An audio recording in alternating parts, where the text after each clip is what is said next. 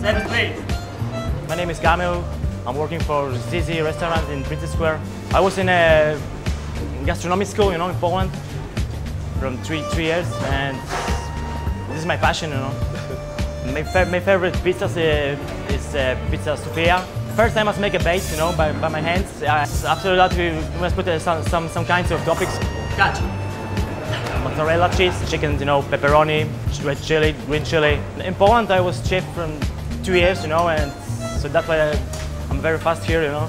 We've got a good team of chefs working for us that um, really have a passion for food and really care about it. It's dead casual, it's laid back, and uh, we want our diners to feel that experience, you know, to just chill and enjoy the food.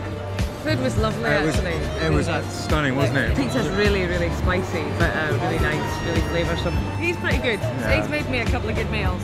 I can cook about two things: macaroni cheese and uh, roasted vegetables, and that's about it. And that's true. I've had them But I'm good at eating. I'm really good at eating.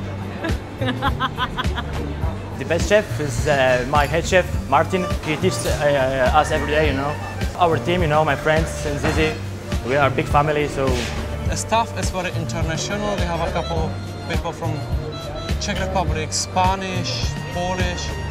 No, I'm not from Glasgow. I'm from Czech Republic, which is quite far away from Glasgow. I'm from Corfu originally, which is just in the heel Italy, so I understand all about the Mediterranean cooking. We use a lot of pasta in Greece as well.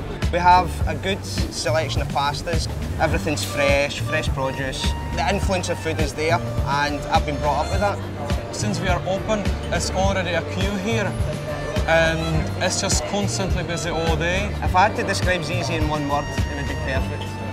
I think the, the friendly atmosphere that you get at Zizzi is why people keep coming back. This is a sexy Italian restaurant. I'm happy that I'm working here.